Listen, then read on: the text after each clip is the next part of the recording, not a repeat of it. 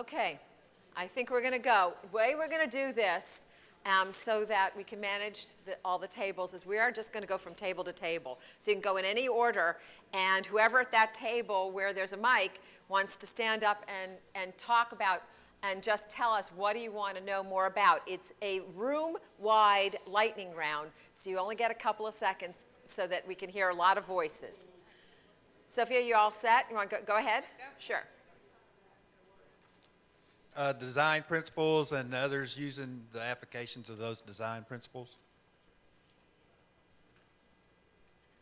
Thanks a lot. I'd like to know more about the way that uh, to integrate the early college program within a traditional high school model.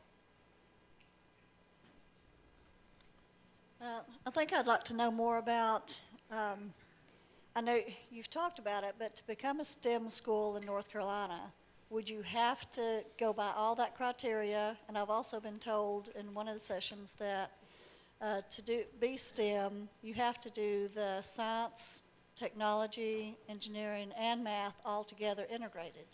And then I've heard that no, you can just do others, so I'm still confused about that. Just specifically to, stand up? Oh, my God. Specifically to Durham um, Public Schools, I was interested in how they dealt with transportation, calendars, um, transitioning those students from all parts of the, the, the county, since we have these multiple um, avenues for students.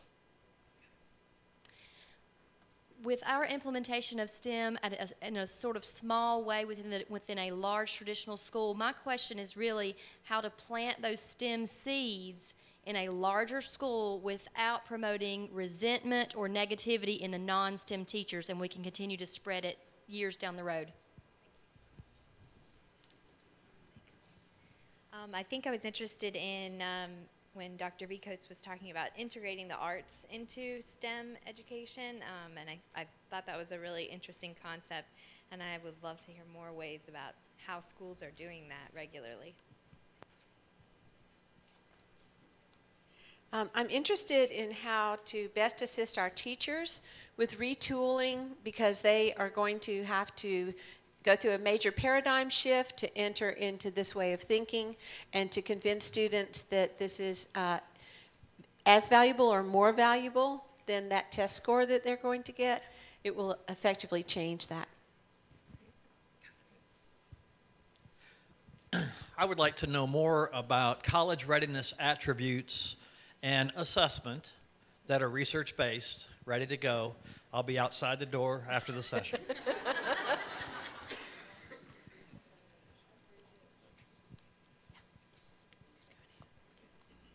Uh, Yes, I, I actually would like to know more about two things that are maybe somewhat um, related.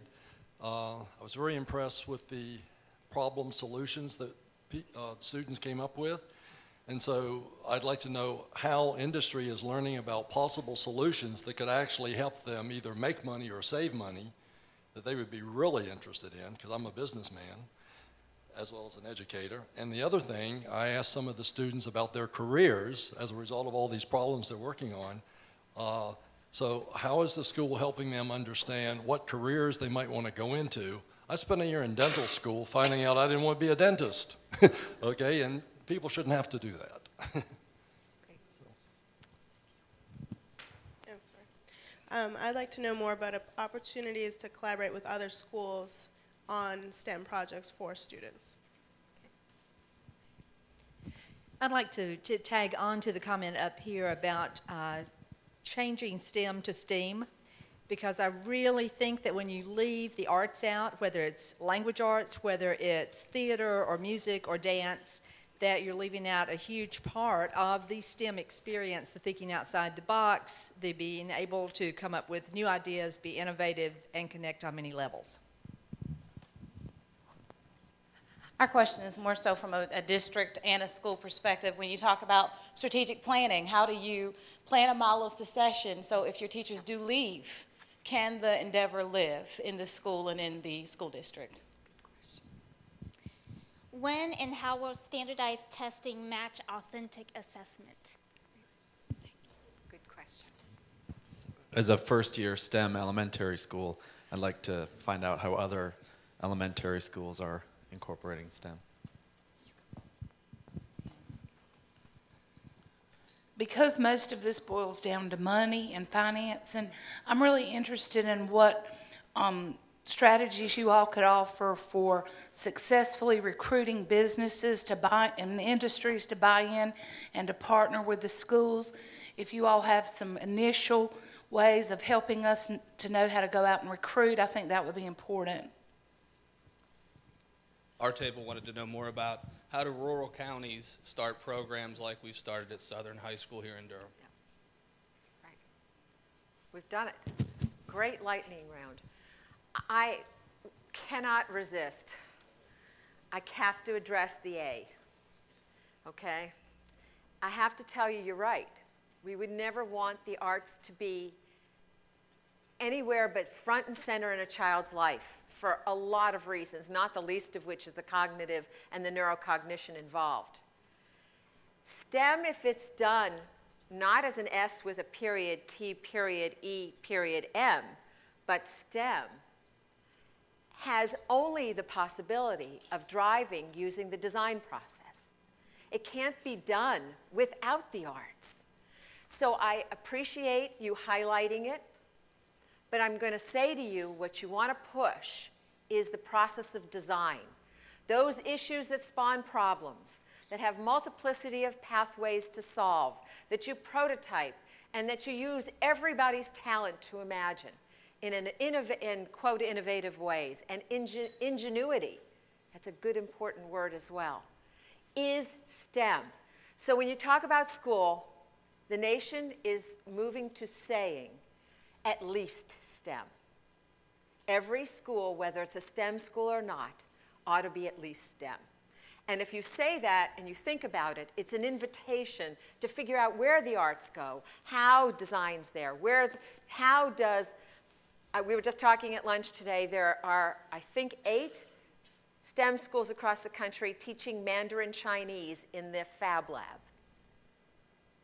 Neat way to teach Mandarin Chinese. And Deb, you probably have 15 more examples across the country of how, of how this all works. So these are fabulous questions. New Schools was quickly writing these down, so quite important. And what we'd like you to do, if you don't mind, would be for you to leave your cards at the table. But we're not done. We have homework. So in TIES, we always say it, it's been a worthwhile time to spend together if we can challenge ourselves to do something gainful and smart and to truly make what we've had together in the last couple of days um, the, the beginning of a collaborative. You do that because you have something to do together, because our voices are, grow in importance together. So we have a challenge for you. And it's not just my challenge, Robin's at the, at the core of this as well, with me. So, first, follow up with one person or institution that you met during the conference. You have, you have business cards galore, or you wrote down names. And on the website, anyway, you can get all the participants.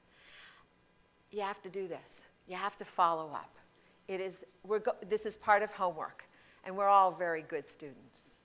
The second, take one focused item and work with your school or institution to design its implementation.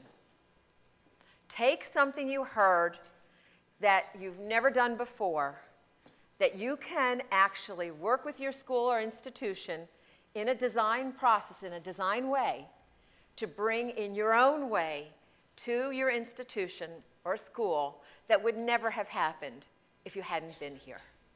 So at TIES, we always say there are but fors that we always look for. But for this conference, you would not have that knowledge, you wouldn't have the partnership, and you wouldn't have done this with your own group.